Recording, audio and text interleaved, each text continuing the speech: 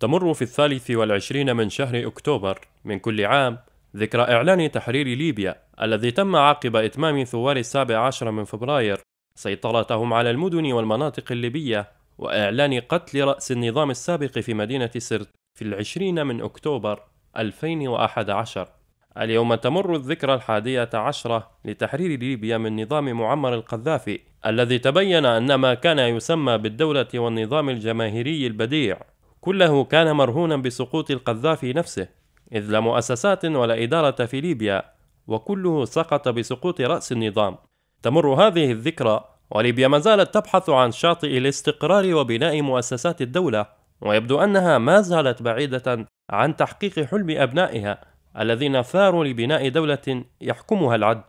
وما زالت ليبيا تتقاذفها أمواج التدخلات والأجندات الأجنبية التي يبحث بعضها عن مصالح استعمارية بأيادي ليبية ضربت الثورة وأصحابها في المقاتل والبعض الآخر لا يهمه في ليبيا إلا مخزون ثرواتها وما يقدمه ذلك من جرعة دفء للدول الكبرى التي تعاني تبعات شديدة الوطأة من الحرب الروسية الأوكرانية. وفي الوقت الذي يتلمس فيه الليبيون الطريق لإجراء انتخابات قد لا تكون حلا سحريا لكل مشاكلهم إلا أنها قد تنهي على الأقل أجساما جثمت على ليبيا سنين طويلة وما تزال تقطع طريق الليبيين نحو التغيير.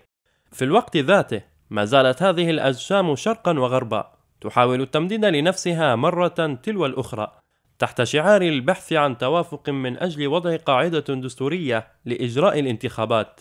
انتخابات لا يلوح في الأفق أي أمل في إجرائها ما لم يتحرك الشعب ويستعد حقه في صناعة مستقبله.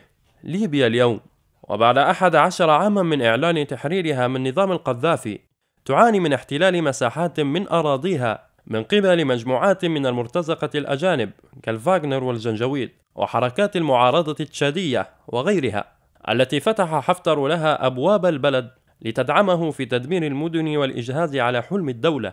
أوضاع تفرض تساؤلات عدة عن التحرير والسيادة والحرية وعن الأمل. الذي ما زال يقاتل الليبيون من أجله.